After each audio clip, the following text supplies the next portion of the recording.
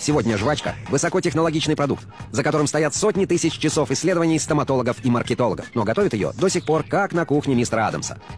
В миксере. Посмотрите, настоящий миксер, только в сто раз больше обычного. Сейчас в нем резиновая основа, состоящая на 80% из каучука.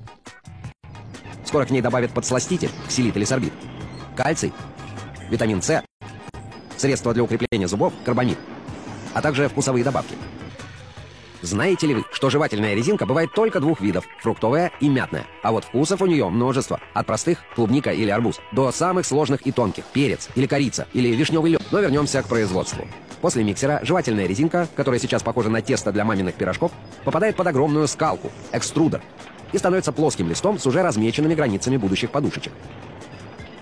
Через два дня, когда жвачка остынет и затвердеет, из этого листа специальные машины отделят подушечки или пластинки – с пластинками все понятно, а вот подушечки еще и проходят глазировку. 8 часов варятся в специальном аппарате, сушатся, и только тогда приобретают знакомый нам вид. Эти же аппараты сортируют подушечки и, прям как патроны на военном заводе, отделяют качественные от бракованных.